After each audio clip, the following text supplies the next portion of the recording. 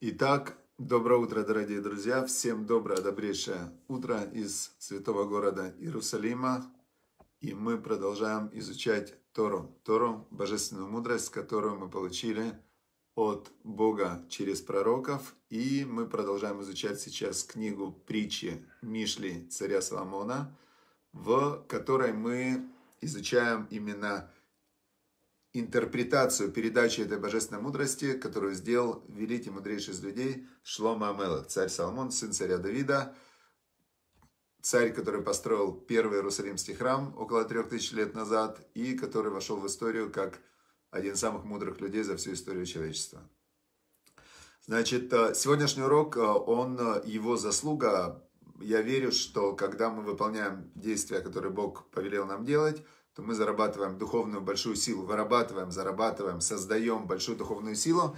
И сегодня я хотел бы, чтобы эта большая духовная сила, которую мы вырабатываем, она помогла выздороветь моему отцу. У меня отец э, Борух Бен Сара, его зовут Борис Бен Сара. Он сейчас в больнице в Ирландии, такое у него непонятное положение. Очень интересно, что э, вот э, в ситуации, когда человек заболевает, он больше всего в этот момент нуждается в поддержки небес, потому что он попадает в сложную ситуацию, физическую, психологическую, и влияют вот духовные факторы, психосоматика, то, что называют, да, на сегодня, а, оно больше всего влияет на выздоровление, то, что сейчас ученые уже доказали, эффект плацебо там и так далее. И в такие моменты больше всего важно, чтобы была поддержка небес, поэтому чтобы была рефуа шлема, чтобы было полное выздоровление Борух бен Сара, Борис бен Сара – и чтобы было ему силы для того, чтобы он вышел из больницы с Божьей помощью. Рефа Штамамат Яков Штайнин пишет. Хорошо. И я сразу же хочу помочь. Есть в Торе тоже еще одна такая известная вещь, что когда тебе что-то нужно от Бога, вот в любом деле, то нужно в этом же деле кому-то начать помогать. То есть первым делом нужно, чтобы э, ты, например, я хочу, чтобы моему отцу э, было сейчас легче, да, чтобы он выздоровел. Значит, я должен помолиться за всех людей, кто сейчас болеет. Вот все, если у вас, вы или ваши родственники, чтобы, не дай Бог, болеют, чтобы было рефуа шлама, полное выздоровление всем вашим близким, и если они нуждаются в помощи, то чтобы Бог дал помощь. И есть очень важная схема, которая нас учит, э, это я читал недавно совсем в советах Любавического Рэба, он говорит, что если человек заболевает, а, то он должен первым делом идти к врачу, прям конкретно. То есть Бог дал врачу силу лечить. И идти к врачу и делать то, что врач скажет.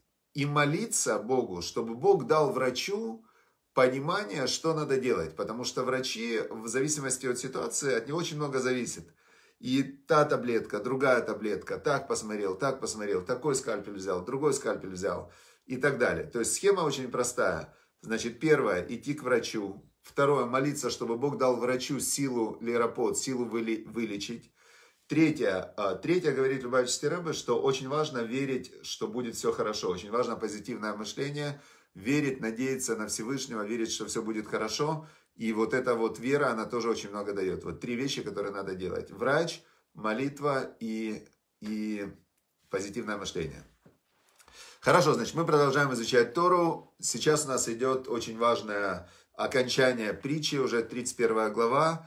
Последние как раз отрывки, это как финишная прямая, кульминация всего, что было. И, э, значит, вот я уже сказал, этот урок для, было, чтобы был для Рефуа Шлема Боров Бенсара и все-все-все близкие тех, которые сейчас присутствуют, чтобы было им тоже с неба была поддержка, чтобы их врачам дал Бог э, правильные мысли в голову, как лечить, и чтобы было у них у всех э, прямо сила внутренняя излечиться, потому что внутренняя сила это тоже очень важно. И опять же, вот э, я чуть-чуть сделаю от, такое отхождение в сторону. У одного моего близкого друга, у него заболел отец в Америке коронавирусом. Ему было отцу уже за 90 лет. И, значит, за 90 лет в Америке по протоколу его лечили и это лечение, которое было по протоколу в Америке, оно э, ему не помогало, он умирал уже. Все, врачи сказали, что он умирает. Э, украинские врачи, кстати, интересно, мой друг пошел в Украине к врачу, главный эпидемиолог в Украине, посоветовался с ней. Она говорит, мы в Украине даем там определенные таблетки в такой ситуации. Он в Америку. В Америке говорят, мы не дадим эти таблетки, мы не даем эти таблетки, у нас по протоколу запрещено давать. И врач, который даст э, эти таблетки, он потом сядет в тюрьму, если больной умрет. А значит, э, а врач в Украине говорит, э, надо давать вот именно вот эти таблетки. И мой друг, он говорил мать, он матери говорит, послушай, я твой сын, это мой отец, отцу 90 лет уже, за 90. Я тебе говорю, под мою ответственность, дай ему втихаря, дай ему эти таблетки. И мать послушала сына, дала эти таблетки, которые посоветовал все-таки украинский врач. Мой друг не врач, он не мог бы э, придумать эти таблетки. И украинский врач по, посоветовал дать эти таблетки. Мать дала в, полностью, вся семья была против, врачи американские были против. Но дали ему таблетки, и он выздоровел. Понятно? То есть это очень интересно, как работает э, молитва, сила молитвы. Хорошо. Все, значит, еще раз, чтобы сила духовная от этого урока пошла на выздоровление всем близким нашим, все, кто слушает этот урок, вот Рифа Шлема Мэр Бен Деня, и э, чтобы было, и Борух Бенсара тоже, чтобы он выздоровел, вернулся домой. Все. Теперь, значит, говорится нам про доблестную жену. Доблестная жена, это описывает царь Соломон, какой должна быть доблестная жена. Мудрецы говорят, что он описывает и доблестную жену, и он описывает мировоззрение, которое является для человека такой же близкое, как жена. И точно так же, как от жены зависит счастье мужа и вообще его жизни. Также от мировоззрения человека зависит все в его жизни, то есть его система координат, в которой он живет. И э, третье намек, что такое доблестная жена, это интеллект. Это способ работы интеллекта человека. Интеллект это очень такой, можно его сравнить с компьютером, который обрабатывает информацию. И Значит, доблестная жена – это жена, доблестная жена – это мировоззрение, доблестная жена – это интеллект, который обрабатывает информацию.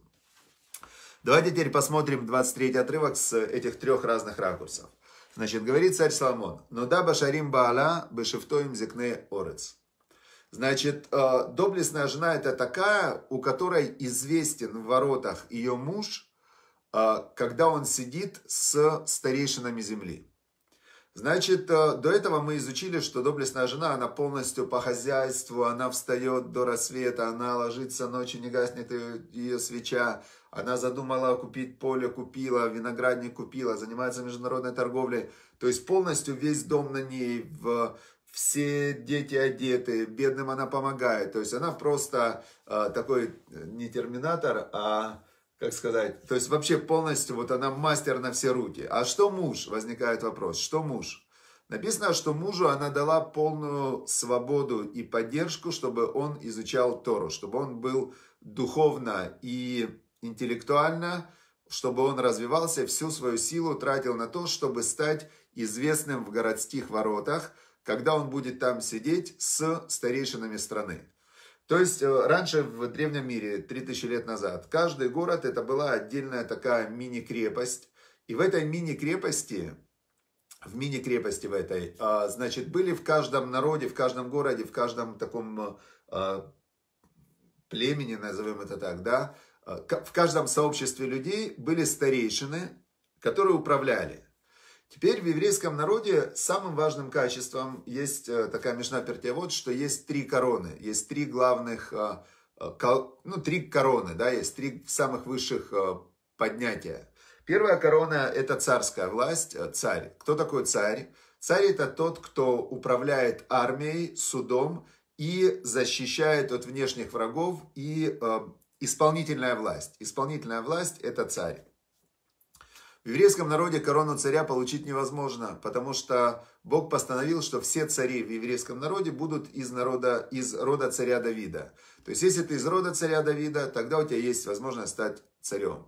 Если ты не из рода царя Давида, то тогда у тебя нет возможности стать царем. Все, это уже установлено на все поколения. То есть мы ждем царь Машиах, Мессия, который будет царь, когда начнется следующий этап мира – который построит третий храм, он будет именно из рода царя Давида и как раз потомок царя Соломона, чью мудрость мы сейчас изучаем. Вторая корона называется корона священничества. Корона священничества, что это за корона? Значит, у Машера Бейну, пророка Моисея, который получил Тору, был родной брат Аарон. И Бог сказал, что Аарон и его потомки, они будут священниками, коинами, которые служат в храме, приносят жертвы, то есть они полностью посвящены Богу. Внутри еврейского народа есть отдельный такой, как клан, э, который передается только от отца к сыну. Причем есть еще один нюанс, что жена должна быть обязательно девушкой, то есть она не может быть разведенной, женщина, она не может до этого с кем-то встречаться. То есть и со времен храма второго храма, со времен, вернее, Машера Бейну Моисея, это было дарование Торы 3300 лет назад, вот эта вот э, семья священников внутри еврейского народа, она сохраняется до сегодняшнего дня, и только они могут служить в храме и приносить жертвы. Значит, корону Коина, корону священника может кто получить? Только тот, кто родился в этой семье, и невозможно, никаким образом невозможно к ней присоединиться. Выпасть из нее можно – то есть, если э, отец Коин, он женился на женщине, которая запрещена для коинов, для священников, то тогда его сыновья уже не коины. Ни, ни за какие деньги невозможно, чтобы они стали коинами. И вот эти вот коины сохраняются в еврейском народе. Теперь третья корона, называется корона Торы. И корона Торы, она выше, чем предыдущие две короны. Это мудрец Торы. Мудрецом Торы может стать любой любой, даже не еврей, который принял иудаизм, он становится сразу же евреем, и если он становится мудрецом Торы, то он э, становится главой еврейского народа, то есть мудрецы Торы это самые, самая элита еврейского народа была всегда. Э, мудрость, знание Торы, знание, как работает мир, близость к Богу, это то, что может получить каждый человек, независимо от его происхождения, рождения там, и так далее. То есть мудрость Тора, она доступна для каждого. В этой же Мишне есть еще одно, а, еще одно есть а, дополнение, что самая высшая корона – это корона доброго имени. То есть если ты хороший человек, это еще выше всего этого. Если ты добрый человек, который помогает людям, это выше всего ценится. Хорошо.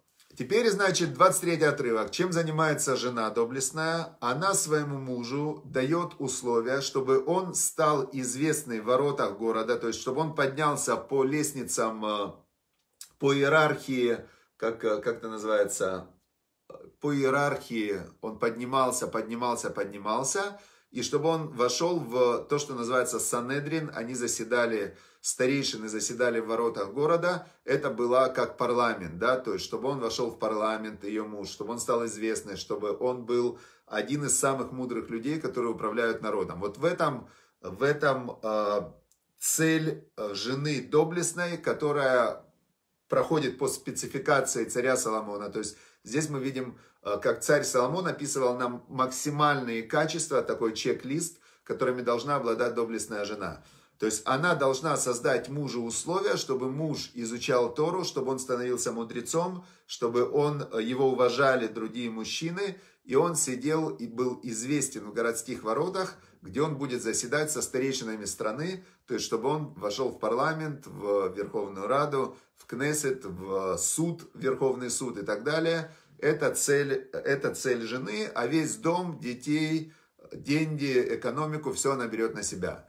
И в еврейском народе на протяжении последних э, трех тысяч лет э, это было принято. Э, то есть женщина, она называется акерет абайт, она называется основа дома, фундамент дома, как основа, так переводится. Акерет абайт это не домохозяйка, ну домохозяйка, да, как в русском тоже есть такое слово домохозяйка, то есть жена, она обеспечивает полностью функционирование дома в материальном плане, и муж, он посвящает полностью себя тому, чтобы развивать свою мудрость и подняться в иерархии уважения на самый верх, заседать в воротах со старейшинами города. Значит, э, есть много историй, как это было. Самая известная история, которую с детства рассказывают детям э, о том, какой должна быть еврейская женщина. Ну, естественно, это история о, про матерях. Сара, Авраам и Сара. Первый еврей был Авраам, и Авраама видно, когда Бог ему открылся и сказал ему, иди себе, мир цеха из земли твоей, мимо латеха, из города твоего, мибейт авиха, из дома отца твоего, эляра цашер иреха, в землю, которую я тебе покажу. Бог ему сказал просто таким непонятным языком, иди себе. Он приходит к жене, к Саре, и говорит, Сара, значит, э, мне Бог открылся, сказал, надо уходить. Э, она говорит, куда? Он говорит, куда Бог, Бог покажет. Куда? Бог мне пообещал, что я, значит, э, и Бог ему сказал, я тебя умножу, возвеличу твое имя и дам тебе благословение. Благословлю тебя, и будет у тебя благословение. То есть он Аврааму сказал, что если ты меня будешь слушаться, прямо будешь со мной одно целое, так он сказал Аврааму, значит я тебе передам э, благословение, то есть я буду с тобой. Так Бог пообещал Аврааму. А как узнать, почему? То есть Бог дал Аврааму 10 испытаний, которых он испытывал преданность Авраама Богу, насколько, насколько Авраам, он готов в случае, когда его эго, его я расходится с желанием Бога, насколько Авраам готов быть с Богом, а не со своим эго. И это было 10 очень сложных испытаний. Авраам прошел эти все испытания, и Бог с ним соединился. Теперь, ну, рядом с ним все это время была Сара, была Сара, его жена, которая, когда Авраам сказал ей, надо идти. Она сказала, пойдем, пойдем. И они вышли. Пришли они в Израиль. Авраам ей обещал, что будет благословение, будут э, деньги, будет все. Пришли они туда, в Израиль, а там голод, нечего кушать. Просто нечего кушать. И он ей говорит, Сара говорит, «Э, Бог мне сказал идти сюда, но обещал, что все будет хорошо, но пока не получается. Пойдем в Египет, там хоть еда есть. Она говорит, хорошо, пойдем в Египет. Приходят в Египет они. Он ей говорит, слушай, в Египте люди звери же, то есть они, ты красивая, они тебя украдут, скорее всего. Давай будем так говорить, что ты моя сестра, и если будут э, хотеть э, тебя как бы забрать, они будут пытаться со мной договориться, чтобы я тебя выдал замуж, как брат. А я в это время буду что-то придумаю, мы будем успевать убежать. Она говорит, Авраам, это мы вышли из-за этого, из города, в котором ты был сын министра, в котором нас в городе в этом мы были богатые, уважаемые, почетные. И сейчас мы скитаемся вообще по миру. И мало этого, сейчас еще меня могут украсть. Авраам говорит, Бог сказал идти, я что делать? Вот так. А Сара говорит, да, отлично. Интересно, что есть глава, называется в Торе глава «Жизнь Сары». И начинается эта глава с того, что, что годы жизни Сары были 100, 127 лет. Она прожила 127 лет, и все жизни Сары были хороши. И предание говорит, что она всегда была довольна. Она всегда улыбалась, она всегда, каждая, все, что с ней происходило, она была довольна тем, что с ней происходило, несмотря на все тяжести жизни. И вот э, они пришли в Египет. В Египте, как известно, Авраам его схема срабатывала каждый раз, когда приходили и говорили, выдай ее замуж, свою сестру, он говорил, что уже договорился за, сколько вы даете, там, 20 верблюдов. Он вообще, он говорит, мне только что я договорился за 40 верблюдов, он за нее дают, и, значит, 20 э, мало. И так он э, все время перекидывал 40 верблюдов, 80 верблюдов, ушел в другой город, ушел в третий город, пока не увидели Сару люди фараона, и они говорят, э, фараон хочет, мы ее забираем к фараону. Авраам говорит, ну, а сколько верблюдов? Они говорят, нету в Египте того, кто даст больше верблюдов. Все, проехали. То есть у тебя нет ни одной отговорки, чтобы ее не отпустить. Поэтому мы ее забираем, твою сестру, и выдаем ее за самого здесь главного человека, за фараона замуж. Представляете? И в этот момент ее великую праведницу Сару забирают. И в этот момент э, Бог открывается уже фараону, говорит, отпусти, это человек пророк, и отпусти жену его. И фараон очень испугался, потому что это было для него очень страшное такое проявление Всевышнего. И он э, отпустил, не просто отпустил, он Аврааму сказал, срочно отсюда уходи. Дал ему очень большие там э, откупные, чтобы только Бог на него не гневался, на фараона. И Авраам и Сара ушли, ушли. И так далее. То есть мы со времен Сары мы видим, что еврейские женщины они посвящали себя полностью воспитанию детей и поддержке мужа для того, чтобы муж мог посвятить себя полностью служению Богу. То есть это идеальная схема, в которой, в которой жена, она занимается всеми вопросами управления семьи и этого мира. По Торе говорится, что муж должен обязательно советоваться с женой, по всем вопросам, касаемым быта, потому что женщина лучше понимает в вопросах этого мира, э, но в вопросах духовных, э, духовного роста и так далее, муж не должен с ней советоваться, потому что это в этой сфере мужчина как бы больше для этого, для внешнего, а женщина для внутреннего. Это то, что мы изучили в 23-м отрывке. Теперь давайте посмотрим на с точки зрения идеологии, мировоззрения. Значит, э, если мы говорим, что жена – это мировоззрение, то тогда получается, если что является высшей, высшей степенью, высшей степенью подъема человека, к чему должен стремиться человек в этом мире. Если мы говорим, что это не жена, а мировоззрение, то высшей степенью поднятия человека в этом мире является то, чтобы мужчина, муж, человек достиг вот той, того уровня мудрости, того уровня осознанности, понимания, когда он находится среди самых мудрых людей страны. То есть, если мы говорим про э, мировоззрение, то к чему должен человек стремиться? Да? Он должен стремиться к чему-то про, проходящему, да? как живет большинство людей, они стремятся к вещам очень, э, ну, таким материальным, находящимся в плоскости, в плоскости общества потребления чуть-чуть больше потребления. Если у тебя одна комната, ты хочешь две. Есть две, ты хочешь э, три. Есть три, ты хочешь четыре. Есть машина, ты хочешь машину получше. Есть э, телефон, ты хочешь телефон следующей модели. То есть большинство людей разменивают свою жизнь на то, чтобы, э, на то, чтобы улучшать э, возможности своего потребления в этом мире. И э, это один вариант. Мировоззрение Торы говорит, нет, надо стремиться к тому, чтобы нодабы шарим баала, то есть чтобы человек поднялся на то, чтобы он находился в воротах города, в воротах города Бешифта им зикней арец, чтобы он сидел там с самыми мудрыми людьми страны и был на самом высоком духовном уровне. То есть эта цель, она является для человека, если мы рассматриваем Эшетхайль, доблестная жена, как мировоззрение, то эта цель, она намного более выше, чем простые цели, которыми э, занимается большинство людей. Хорошо, теперь если мы посмотрим на это как на интеллект, то тоже человеку очень важно увидеть какую-то большую цель и к ней двигаться. То есть, если у человека нет вот этой вот большой цели, к которой он двигается, то вся его жизнь, она находится в Броунинск, называется, в хаотичном движении. То есть, если у человека нет никакого привода, когда он к чему-то стремится, у него есть вот какая-то большая цель. У меня, кстати, интересно лично, у меня как получилось.